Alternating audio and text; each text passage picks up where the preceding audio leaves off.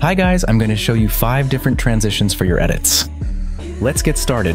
Right-click outside the composition, hover over New, and create a solid layer. You can copy my settings.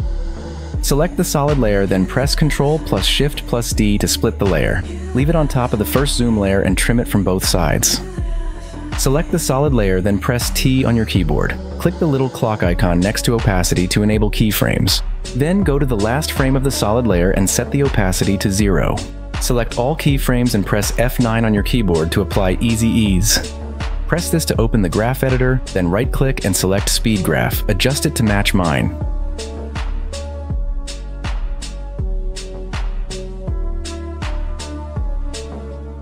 This is how your transition should look. On to the next one. In the second transition, we will create a new white solid layer, just like before, but this time we will split it into two different layers, each two frames long. Just follow my steps carefully. Split the layer and leave only one or two frames, then place it just before the transition. Search for wipe line in the Effects and Presets panel, then drag and drop it onto the solid layer. Make the changes just like mine. Set the wipe percent to 50 and the angle to 180 on the first solid layer. After we're done, select the layer and press Ctrl plus D to duplicate it, then place it at the start of the transition, and change the angle to zero.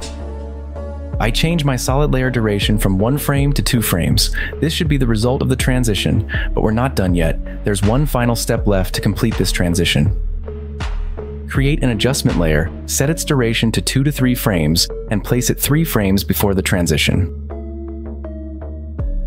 Search for S halftone in the effects panel, drag and drop it onto the adjustment layer, then set dots frequency to 150, dot sharpen to 15, and smooth source to 5. Here is the final result. It works best on a glitch style edit in my opinion. In this transition, we'll need a solid layer again. After creating the solid layer, select it and press S on your keyboard to reveal the scale values. Click on the small chain icon to unlink the values, then scale down the left value to your liking. I prefer it around this much. Now select the new layer and split it by pressing Ctrl plus Shift plus D. We'll make it 30 frames long, leaving 15 frames before and 15 frames after the transition. Also, tick the motion blur icon. This will make the transition smoother once it's finished. However, if you're creating multiple transitions like this, it might increase render time. While selecting the layer, press P on your keyboard to reveal the position keyframes. Then right-click on Position and select Separate Dimensions. Create a keyframe at the start for the X position, then move the layer all the way to the left or the other direction. Just make sure it's completely out of the screen. Now go to the last frame of the solid layer and create another keyframe for the X position. This time, move the solid layer to the opposite side from where it started. Make sure it's completely out of the composition screen. Then move the last keyframe forward, select both keyframes and press F9 to apply Easy Ease. This will smooth out the motion, but will also adjust the graph to make it a proper transition. Now copy exactly how I adjust my graph. The graph is important for this transition to work properly.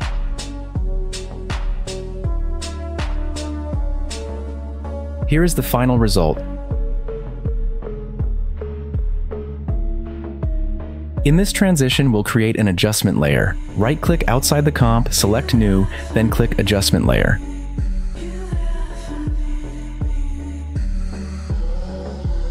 Split it so it's 45 frames long, ending exactly at the start of the second video layer, just like I do here. Now, while selecting the adjustment layer, press T to show the opacity. Create a keyframe at the start and set the value to 0, then go 30 frames forward and set the value to 100. After that, search for Omino Diffusion in the Effects and Presets panel, then drag and drop the effect onto the adjustment layer. After that, create a keyframe for Error Across at the start. Then go 75 frames forward and create another keyframe. This time, set the value to 1.4.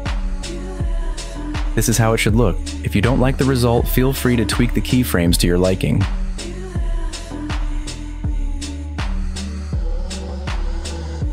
Once you're done with that, change the color count from 2 to 4. This will give it a red color, which I think looks really cool for this transition, but you can always adjust it to your liking. Here's how it looks. It's still missing something. If we want to blend it smoothly with the second zoom, we need to add a solid layer. Just like before, right click, select new, then choose solid layer. After that, cut it into two pieces, each two frames long. Then search for S-Wipe line in the Effects and Presets panel and drag and drop the effect onto the solid layer. Now set the angle to 180 degrees and the wipe percent to 50. Then press Ctrl plus C to copy the effect and paste it onto the second solid layer. After that, just set the angle to zero and you're done.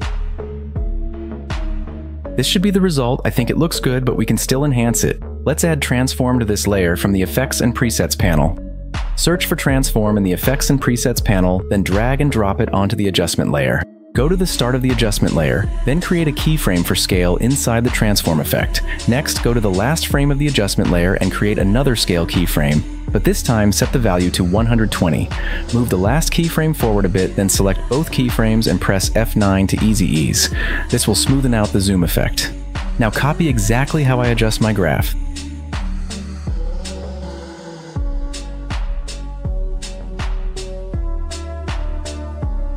This is the final result for this transition. It's a great choice for a sad or emotional edit, and you can always customize and tweak the settings to suit your style. On to our final transition.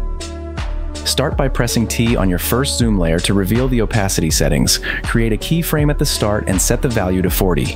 Then, move to the middle of the layer, create another keyframe, and set the value to 100. Finally, go to the last frame of the zoom layer, create one more keyframe, and set the opacity to 20.